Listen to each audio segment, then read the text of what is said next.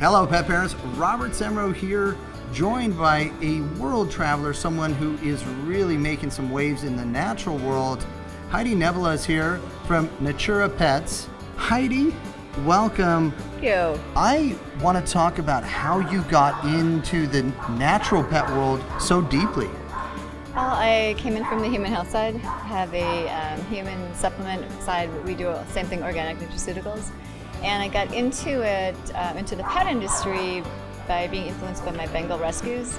And they had a, a litany of health problems that couldn't be addressed by anything in the market. So we did a, a, a formulation with a, with a holistic vet, and we did we actually made formulations for specialty thing, specialty diseases and conditions that weren't being represented. So that's how we got into the side of it.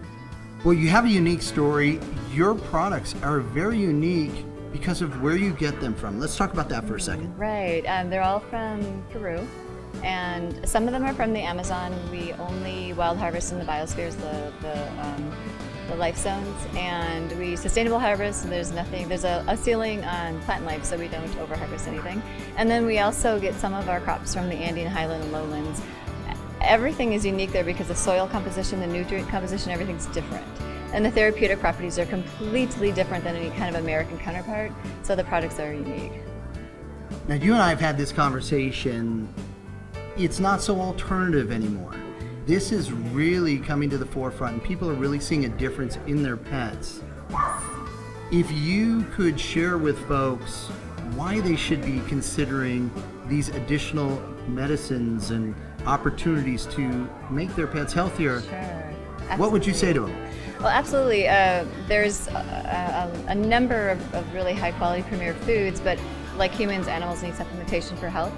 And there is no way to really give dry kibble and deliver all the therapeutic benefits they need, all, whether it's the, the macro, micro minerals, the amino acids, enzymes, all of that, you just can't. So you need to add through supplementation, but also animals are presenting diseases at alarming rates. and so that absolutely requires something else we put into the diet to address it.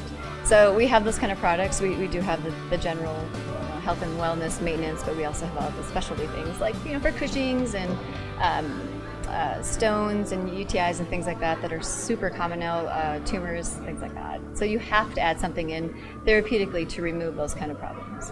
And you like to have a little bit of fun with the names, Oh, throw yeah, out some of the names, and maybe what they'll be good to address. Sure. Um, one of our most popular ones called Life's a Niche. It's allergen and respiratory disorders, things like that. Um, we've got a shaky groove thing. It's an anti-parasitic, but it's also uh, a cleansing detoxifying product. We've got a Love Your Liver for a hepatoprotective product. Um, Diabetes for diabetes. Um, I'm a rock star for adrenal uh, conditions and things like that. So just our, our line is fun. We, we enjoyed creating the names for them. Well, it's certainly a lot of fun, and it's catching a lot of people's eyes, and hopefully opening a lot of minds. So thank you for all that you're doing in the pet world. Thank you very much. Appreciate your time.